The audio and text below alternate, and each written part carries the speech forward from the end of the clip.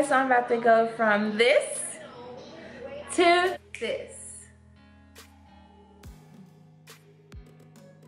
So if you're interested, just keep on watching. So the dye that I'm going to use now is called Adore and I'm going to dye my hair jet black. And this is my first time actually using this brand. So if you used this brand before, just leave a comment below and let me know what you think about it. So this is my first time again. So let's get started.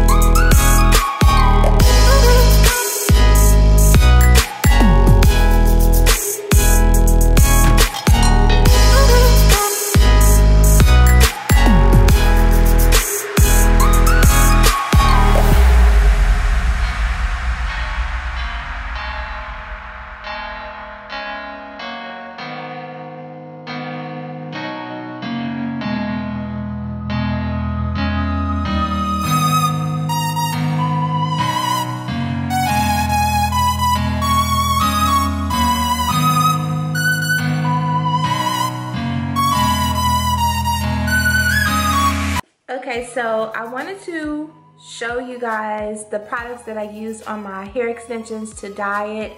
And this is my first time using the Adore um, dye like I mentioned earlier in my video.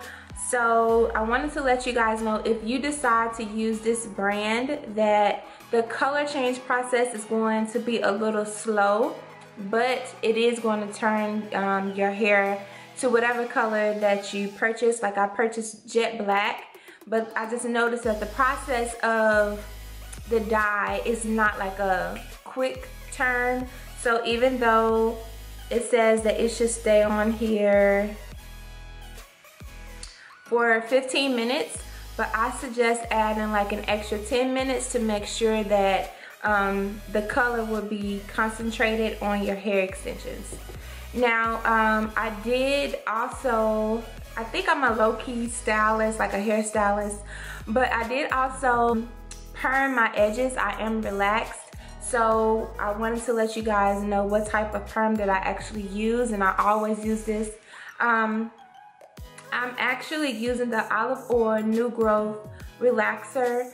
Um, it's a little bitty jar so I only just relax my edges because I did have some new growth. But if you are not relaxed, you do not have to worry about this part of putting any type of relaxer on your hair. So you can just skip this step and just go directly into dyeing your hair extensions. And I did also use the actual like shampoo and conditioner that actually came with the olive oil relaxer so I like to use that first to make sure like everything is um, washed completely out of my hair and then I also went in using my pink shampoo and conditioner. Like I've been using this since um, since I was about 17 so I've been using this for a really long time and I definitely wanted to stick with products that's healthy um, for my hair and also that seems to work for my hair pretty much. So I just wanted to show you guys what it looks like and I purchased both of these from the beauty supply store here and and I'm the type of person, if I'm watching somebody like do their hair or color their hair, like I actually want to know what exactly they use on and also after their hair. So I just wanted to make sure that my videos were um, pretty informative for you guys. If you all wanted to know like how certain products work on your regular hair or hair extensions.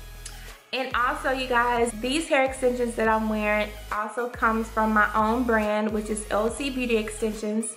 So I do have a coupon code for you guys and I will link it right here so you guys can actually use the coupon code and also support my brand and support me. Thank you. So um, I'm truly, truly thankful for all of you all that have purchased hair from me already. I'm so, so, so, so, so, so grateful for you all. I just wanted to come on here and show you guys that I was using a new dye product um, from my previous videos and just show you all how it actually came out. Now this is a semi-permanent dye, so you do not want to use permanent dye when you are relaxing your hair as well, so um, don't do that. I always use semi-permanent dye on my extensions and then also my hair. Also my natural hair, well my real hair. Again, thank you, thank you, thank you so much for watching this video and I will see you all in my next one.